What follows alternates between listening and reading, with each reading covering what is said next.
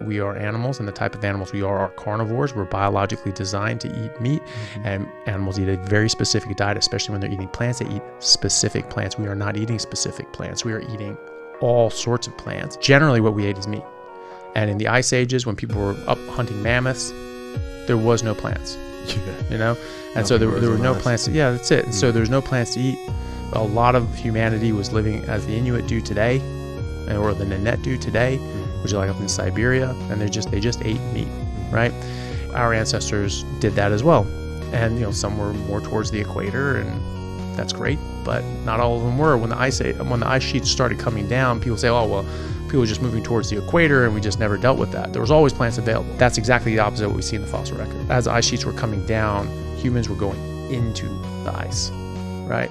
Yeah. And so that's where the big game was. That's where the megafauna was.